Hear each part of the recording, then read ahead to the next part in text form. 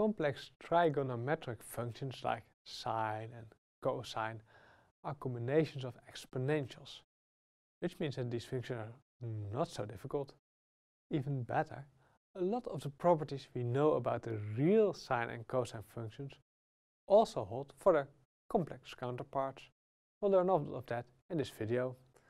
So how is a complex sine and cosine defined? Well, we know e to uh, the power ix, the, the, the real version. Euler's formula was cosine x plus i times sine x. And you can also find e to the power minus x equals cosine minus x equals cosine x plus i times sine minus x equals minus i times sine x.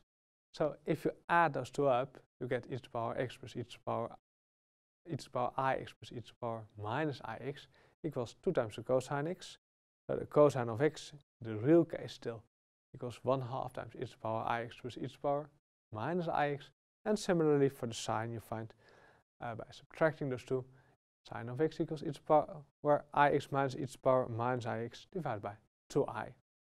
So this motivates us to uh, define the complex sine and cosines in a similar way as follows.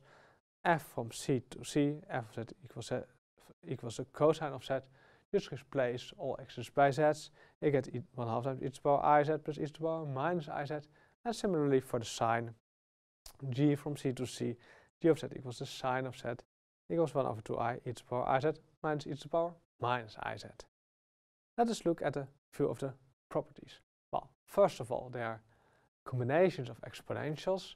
Exponentials are entire functions, so sine and cosine are also entire functions. So what happens if you take the derivative of the sine, we get uh, i times e to the power iz uh, minus minus i times e to the power minus iz, so plus i times e to the power minus iz. We can take the i out, we get the 1 half times e to the power iz plus e to the power minus iz, just equal to the cosine of z. So the derivative of sine is again just the cosine as in the real case. So what about the cosine? Yeah, you can guess already, of course. If you differentiate the cosine, you get an i over here and a minus i over here. Uh, you see you can take the i out and you get i over 2 times e to the power iz minus e to the power minus iz. And i over 2 equals 1 over 2i uh, is a minus sign, so you get the minus sine z. So the derivative of the cosine is again just minus the sine. So the rules you know from real functions also hold here for the complex cosine and sine. What about some other rules? Well, if you take, for example, the cosine of minus z, you get a minus z here and a minus z there. Well, that doesn't matter, of course, you can just change the order. and You get just the cosine of z, so that's the same. What about the sine of minus z?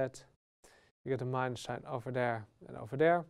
And if you change them, you can take out the minus sign to get the minus sine over z. So also this rule you know from real functions also for their complex counterparts. Well, what about the formulas for cosine z1 plus z2 and sine z1 plus z2? They also hold, it's a nice homework exercise to show this, just use the definition and do all the computations. You get cosine z1, cosine z2 minus sine z1, sine z2. And for the sine of z1 plus z2, you also get the familiar rule cosine z1, sine z2 plus sine z1, cosine z2.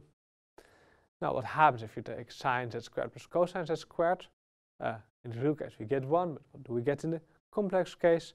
Well, for the sine z squared you get minus 1 over 4 from the 1 over 2i. And you have to square this part over here. And for the cosine squared you also get 1 over 4. And then you have to square this part over here. Work out the brackets. You get uh, e to the power 2iz plus e to the power minus 2iz over here and over here times 2 times e to the power iz times e to the power minus 2iz equals 1. So you get a minus 2. And for the other term, e to the power 2iz and e to the power minus 2iz, just as the first one. And then we get 2 times e to the power iz times e to the power minus 2iz equals a plus 2 over here. So what do we get? Minus 1 quarter e to the power 2iz plus 1 quarter e to the power 2iz minus 1 quarter e to the power minus 2iz plus 1 quarter e to the power minus 2iz cancelling out. Minus 1 quarter times minus 2 equals 1 half. 1 quarter times 2 also equals 1 half. 1 half plus 1 half equals 1. So also in the complex case, sine z squared plus cosine z squared equals 1. So we see many properties which hold for sine and cosine in the real case also hold in the complex case.